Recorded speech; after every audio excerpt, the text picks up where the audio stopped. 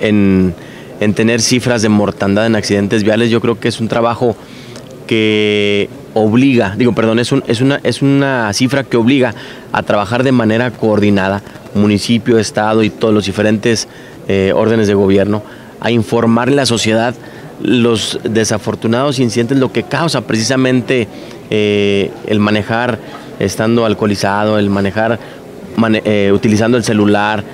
Yo creo que es una cifra que nos debe de preocupar a todos, no es culpa solamente de una sola instancia. Yo creo que en este caso algunas propuestas son incrementar las multas en, en este caso viales. Nosotros creemos que esta no es la solución, nosotros estamos convencidos de que la solución eh, se dará a cabo cuando exista un trabajo coordinado entre municipio, Estado y los diferentes órdenes de gobierno, cuando hagamos una verdadera campaña informativa de lo que sucede si una persona maneja alcoholizada. Tenemos un problema muy grave donde muchas, en este caso, eh, fiestas juveniles, eh, hay un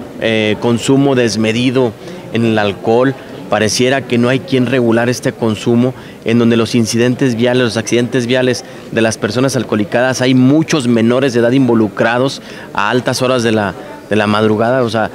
¿Qué pasa? Aquí no nada más son las autoridades, ¿qué pasa también con los padres de familia? ¿Qué pasa con la vinculación que hay entre escuelas y padres de familia? Yo creo que es un trabajo en el cual tenemos que trabajar mucho, que nos debe de preocupar, que no se debe de politizar y que debemos de meter eh, todos, eh, aportar algo eh, porque no es posible que esté muriendo la gente por este tipo de causas en nuestro, en nuestro estado. Nosotros eh, siempre estaremos a favor de la concientización y estaremos a favor de que se logre, en este caso, mayor coordinación entre las autoridades encargadas, pero sobre todo en sociedad civil, eh, escuelas,